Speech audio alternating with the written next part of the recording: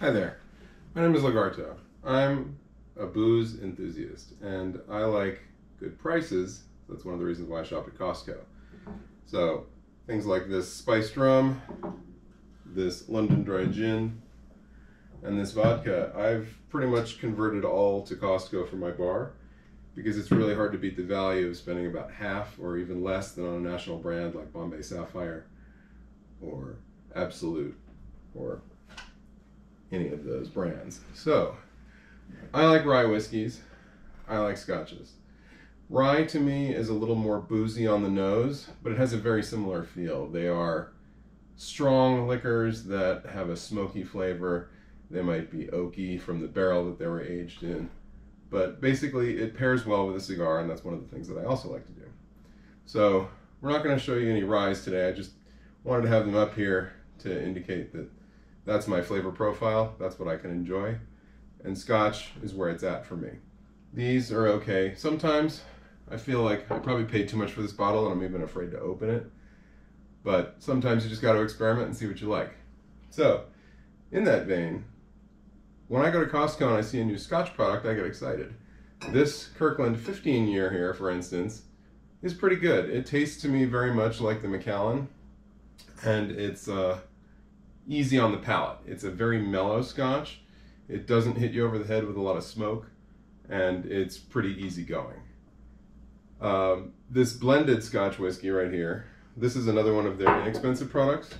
And this stuff, let's just say, it ain't that great to drink straight. Hmm.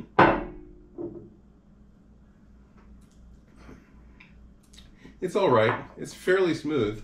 Actually, it's not too bad. It's not as good as the Glenmorangie 10 by far, but it's only aged three years. It is actually smoother though than the Knob Creek. What I like to do with the blended whiskey though is use it as a mixer. So take some ice.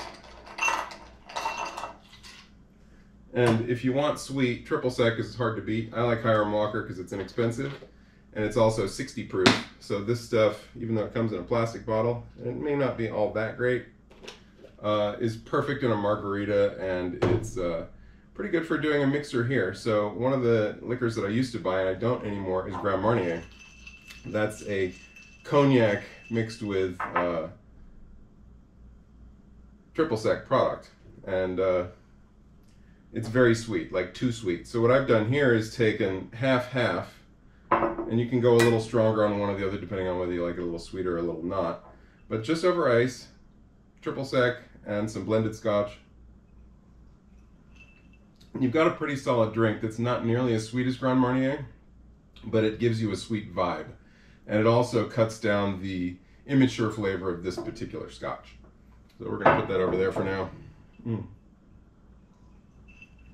Not a bad beverage. Hard way to beat. Okay. Now, the scotches. So we have these two, and I've tried them both but uh, my opinions on this one we're going to wait for to the end because that's the that's the weirdness here. So what I like, I like Highland Park for its smoke. I like Macallan for its smooth. I like Lasanta for a little bit of the flavor of the sherry cask that it was finished in. And I like Glenmorangie 10 if I'm just being cheap. Because the handle for $70, it's hard to beat that. In fact, Costco had this, I believe it was for 65 But uh, they don't have it anymore, and that's fine. They have their own Scotch products that they're competing with. So we are going to uh, have a little sip of the barrel-aged 15-year single malt. Just a tiny splash of this stuff. Because I was really disappointed to find out when I went in to buy a case of this stuff. I wanted to go buy 12 of these after sampling it. It's nice and smooth. It's not perfect. It, to me, it tastes like a 12, but maybe a little more mature than that because it is distinctly better than this. Uh, but I wouldn't go pay $100 a bottle for this uh, if it was, say, Lagavulin or uh, one of those other more premium scotches. But it's it's pretty darn good. And at 55 a bottle, which is where Costco had it at the time I purchased it last month, um, definitely worth it. Mm. So that's a fine product. Now, we come to this little oddball. This is Islay single malt scotch, and it doesn't say anywhere on the label, anywhere on the shelf, or anywhere on the receipt about how many years this is aged. And I thought that was a little strange because uh, one of the things that came into my door was the uh, Costco Connections magazine, and it had a write up on how these scotches came to be. So we're talking about this one, this one, and basically back in 2008, the uh, buyer for Costco decided to take a trip to Scotland and hook up with a distillery that would make a specific product just for Costco. Well, uh, this is one of the ones they came up with, and this one scares me. Yeah, so when you, it doesn't even have a lot of odor out of the bottle, but uh, it has a vibe that's just a little off. We're gonna try this again today, because I had this once before, and I'll be honest, I was disappointed. The first Costco liquor product that I've been disappointed in. It makes me nervous about this Kirkland XO Cognac here that I decided to experiment on. This is a $50 bottle for 750 milliliters. And that's notably cheaper than, say, some Remy Martin at like $800. Or some of your other bargain priced XOs, because that's sort of iffy. Uh, it's not really talked about how many years it's aged or what processes they use. But let's just say XO Cognac has a wide margin for error. Uh, so I don't know about that one. We'll, we'll see. This bottle, eh, I hope it's not like this one. So now that it's in the glass, I can tell you it, it has a strange vibe of burned rubber. Be that inner tubes from your bicycle, pencil erasers, uh, vulcanized rubber from your car tire, Perhaps you've been to a drag strip and smelled the, uh, I don't know, mix of ethanol and burned tires. But that's the unfortunate vibe this one gives. And uh,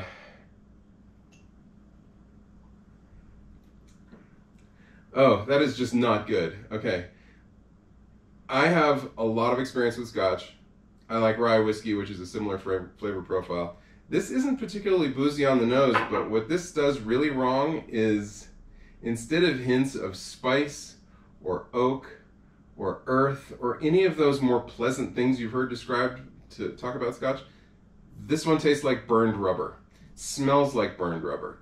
In fact, when I opened the bottle the first time and had this in my kitchen, I came back later and couldn't figure out what the weird smell around my sink was. Well, it turned out I hadn't rinsed my whiskey tumbler and that waft of smell hit me. And I could not believe that was something that I was actually considering drinking. I've tried it again now, but I had just the tiniest little dram, maybe, I don't know, four milliliters of the stuff, and it's just bad. Uh, I'm gonna put the cap back on here and I need to wash this glass out, or maybe, I don't know, put it in the trash because it could be contaminated. This tastes like poison. Do not buy it. Costco. This Islay single malt Scotch whiskey for $38 a bottle for a 750 milliliter, which, by the way, why is it in a brown bottle? You can clearly see every other bottle I've got for all scotches and ryes are clear. Why did you put this in a brown bottle? What is wrong with this product? How did this end up on your shelf? Why are you selling it under the Kirkland label? You are damaging your brand by continuing to offer this product. Pull it from your shelves immediately and turn it into industrial alcohol or destroy it, but don't dump it in a river because it'll probably kill the fish and the other important wildlife. So my recommendation, very considered, very educated, is do not buy this product. And hopefully Costco will never make a mistake this grievous again because it will put people off of the brand and they will not trust when they see something shiny and new that it could be possibly as good as a national brand that you've heard of that if you went to a liquor store and asked an employee there, they could give you an honest opinion about whether it has the flavor profile you're looking for. Because they're not going to say it's bad. They're just going to say, what other things do you like? And they'll have a conversation with you about alcohol that you can enjoy drinking. Because honestly, there's two ways to drink alcohol. There's, I want to get drunk tonight, let me have 10 shots of this.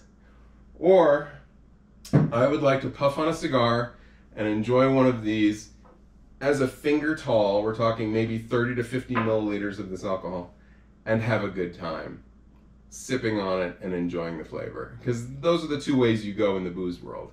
It's I want to get drunk, or I'd really like to enjoy this today. So I hope you've enjoyed this video. Subscribe if you like, although I don't do a lot of booze reviews. It's mostly skiing and other silly things. Uh, but definitely like the video and share it if you think it's good information. And thank you for watching.